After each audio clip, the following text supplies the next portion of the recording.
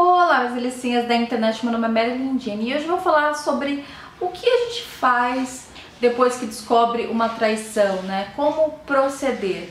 Ficou curioso para saber o que eu vou falar neste vídeo? Então, bora comigo que eu vou mostrar.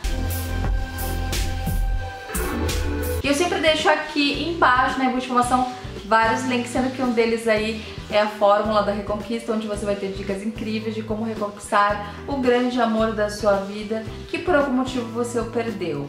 Eu pensei em fazer este vídeo devido a toda a história envolvendo o José Loreto e a Débora Nascimento e ela está sendo muito elogiada na Globo porque ela tem mantido uma postura discreta. Eu até vou ler um trecho aqui de uma reportagem que foi feita sobre ela. Todo mundo sabe que ela está sofrendo com a separação, mas ela está sendo super profissional e discreta.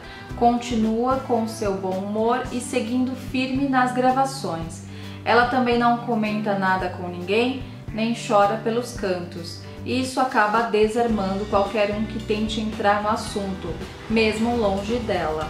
Débora parece plena, disse uma fonte de dentro da emissora para o UOL, tá? Que essa reportagem eu li no UOL. Quando a gente passa aí por uma perda, que a separação é como se fosse um luto, né? A pessoa vive uh, um luto, essa é a verdade. Porque apesar da outra pessoa não ter morrido, simbolicamente ela morreu. Né? Não vai ter mais nós, não vai ser mais aquela coisa que ocorria antes. Agora cada um vai seguir o seu rumo, né? A história ela é interrompida.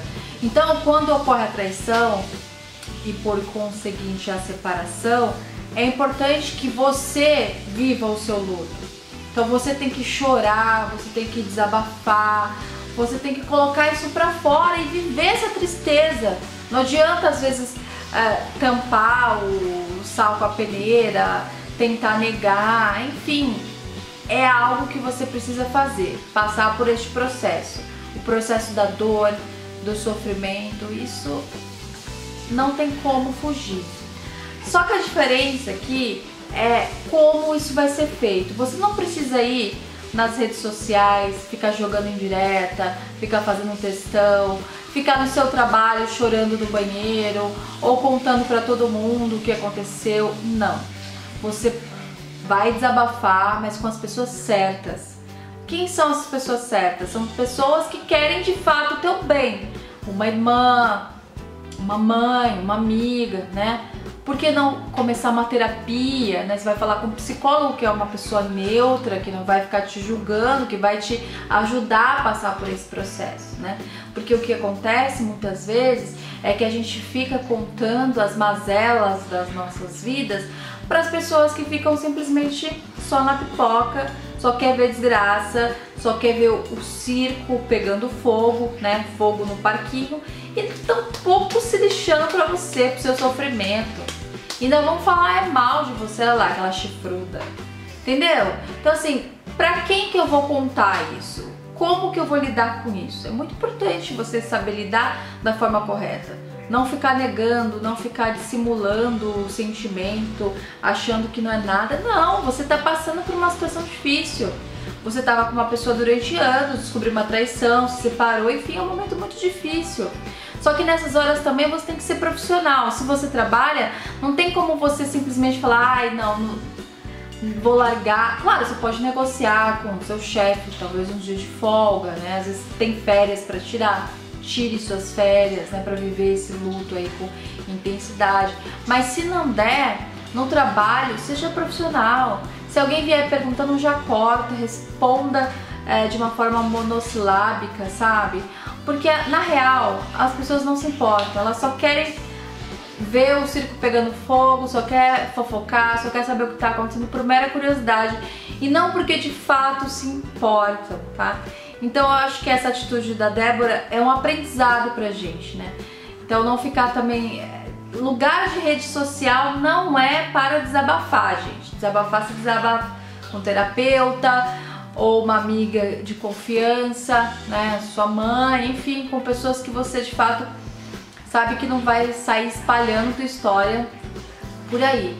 Então, como lidar com a traição é super importante, tá? Saber que é, você não é a única pessoa que passou por isso, nem vai ser a última pessoa. Se por um acaso você decidir perdoar, essa é uma decisão que cabe somente a você, ninguém tem que ficar te julgando. Porque o que a gente vê também é muito julgamento. Ah, eu não perdoaria. Ah, olha lá, trouxa, tá perdoando, foi chifrada. Cara, a vida é de cada um, cada um sabe onde calo aperta, sabe? Eu acho que cada casal tem sua história, tem aí os seus acordos. Eu acho que essas questões a gente não tem que se intrometer, né? É claro que existem diferenças, né? No caso, a Débora é uma pessoa famosa, a vida dela tá exposta aí pro Brasil inteiro, em sites de fofoca, enfim. Só que é, essa atitude que ela tá tendo é, vale não só pra, pra, pra ela que é famosa, mas vale para todo mundo, né? Porque apesar da gente não ser famoso, da gente ter uma vida normal, as pessoas também sentem curiosidade nas nossas vidas. A única diferença é o número, né? Porque no caso da Débora são milhões de brasileiros e no caso de você que está me assistindo são algumas pessoas aí que ficam curiando tua vida, mas mesmo assim tem curiosidade. Então a postura que a gente tem que tomar é essa, não ficar desabafando com qualquer pessoa, não ficar indo nas redes sociais mandando indireta para ex ou para outra, né, para amante, porque tem muita gente que faz isso também. E outra coisa, nada de ficar ameaçando amante, ah, eu vou te bater, eu vou te matar. Quem tem compromisso com você e que deveria ter te respeitado é o teu marido, tá? Então assim, a outra pessoa não tem compromisso nenhum com você. Então nada de ficar também se sujando por besteira, sabe? É, ameaçando, falando que vai fazer isso, vai fazer aquilo é, se coloque no seu lugar de mulher digna, bola pra frente que vai dar tudo certo. Eu acho que é bem interessante essa reflexão, né? Porque ninguém está, infelizmente, imune a uma traição. E você, aí de casa, o que, você achou disso tudo? O que, que tá achando dessa história aí do Loreto, da Débora, agora enfiaram a Marina também no meio? Me conte aqui embaixo, porque esse rolê, olha, tá babado. Eu quero saber. Não se esqueça de deixar um gostei pra mim, isso é muito importante para o crescimento do meu canal aqui no YouTube. E tem aquele botão que eu sempre falo por aqui, inscrever-se, apenas um clique você já estará inscrito.